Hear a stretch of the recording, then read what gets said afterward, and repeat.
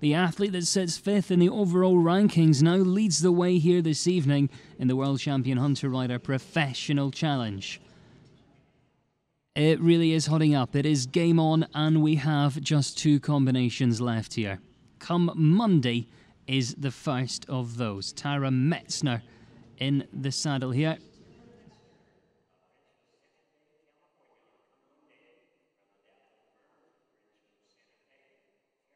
Started their year down at Wellington. Another of the combinations we saw right to victory in some of the classes at the Middleburg Classic. The Holsteiner by Cassini come Monday and Tara Metzner on board. Again, we'd reflect on those scores from round one. It was an 89-33 total with uh, 88 coming from Judge 1, a 90 from Judge 2 and a 90 from Judge 3. And that popped them safely into second in the first round. I'm sure she'll want to do one better here in the second round though. But to do that, as we know, that new challenge, 17807, is to beat. Overall, this uh, rider sitting sixth in the points rankings on uh, 1,489 points.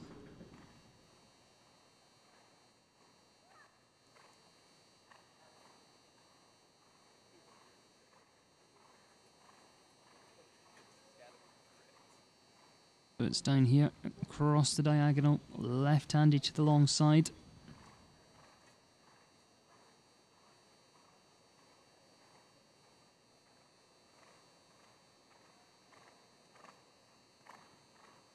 And down to that last fence. Really is a fantastic horse. Certainly one to uh, keep an eye on as the uh, season progresses. The horse come Monday.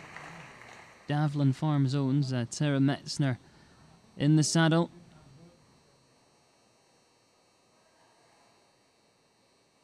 And a reminder, it was 89.33 that score that came in after the first round. Can she produce a similarly good score? Yes, she can. 91 from Judge 1, 88 from Judge 2, 93 from Judge 3. We have ourselves a brand new leader once again. It's a 179.99.